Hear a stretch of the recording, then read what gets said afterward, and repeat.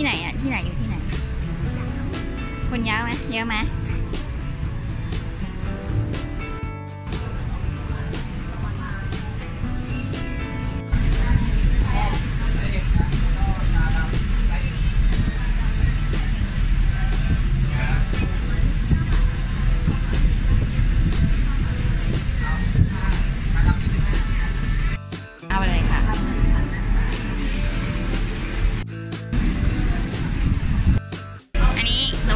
อคิวแก้วเนี่ยอันนี้ให้ใครอันนี้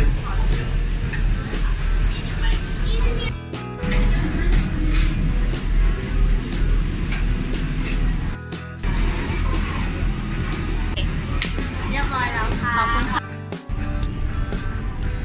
เป็นไงบ้าง อันนี้หวานปกติเป็นไงบ้าง โอเคใช่ป่ะ แล้วมันมีอย่างอื่นที่เป็นกลมๆไหมที่ไม่ใช่กลมไเหมือนกับเป็นเจลลี่เขาบอกเมื่อกี้เป็นไงบ้างคะชานมแบร์เฮาส์อร่อยอร่อยอะคะ ชอบใช่ไหมทำไมถึงชอบ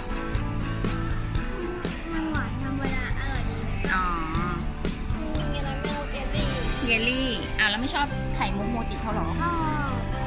อืมอันนี้คือเราก็ลองสั่งมาตินิ่มดีอ๋อ อันนี้เป็นไข่มุกโมจิ มัทฉะพรีเมียมนะคะ หวานน้อย อันนี้จะเป็นน้ำตาลทรายแดงที่คุณลูกกินเป็นหวานปกติ ก็อันนี้จะเป็นอของคุณแม่คือ jasmine